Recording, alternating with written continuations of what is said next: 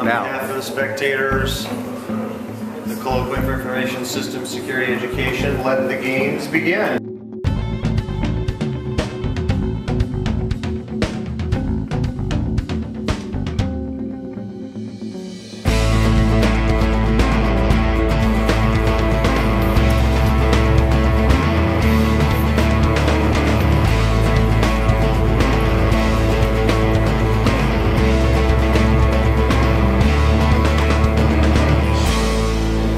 40 minutes into the competition. What have you noticed so far? Uh, we haven't seen a lot of offensive stuff going on. There have been a lot of scanning, a lot of attack, traffic, but no phone homes and no flags captured yet. You have a game plan? We do. What's your plan? Uh, to win.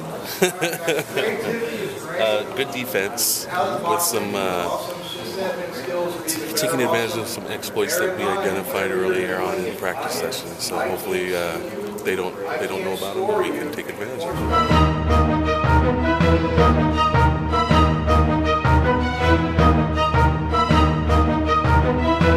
We're about one hour into the competition. How's it going? Um, not so good, but we're working on it. Um, the other team seems to have taken their systems offline to heart, so red team doesn't have much to do yet. So we'll see how it One of the teams is actually managing their layer three connections very well. They're they're owning their terrain. They own their space that they're working in. Uh, the mistakes that we see are people are uh, overextending their tools or they're uh, overuse of automation. They're they're plugging in a bunch of things, hoping that one of them will work.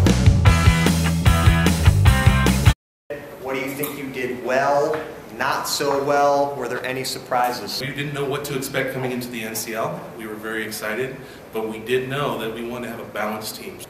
I was surprised we weren't able to exploit the boxes. Yep. Good job, guys.